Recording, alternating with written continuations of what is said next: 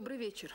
Любители футбола, несомненно, знают о том, что советская сборная практически добилась права участвовать в финале чемпионата Европы.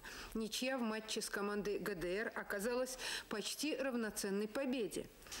Но когда в конце первого тайма таинственное замешательство наших защитников и неудачные действия Досаева привели к голу, который забил Кирстен, закралось сомнение, не станет ли эта игра матчем упущенных возможностей. А их было немало, как вот этот, когда Литовченко с подачи Протасова бьет мимо ворот. Однако все закончилось благополучно, и после штрафного Добровольский сделал передачу на Литовченко, а завершил атаку подоспевший раньше других Олейников. Желанная ничья 1-1, ничья, вселяющая надежды на успех в чемпионате.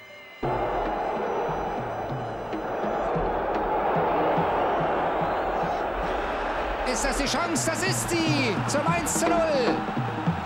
Ulf Kirsten, der Schütze.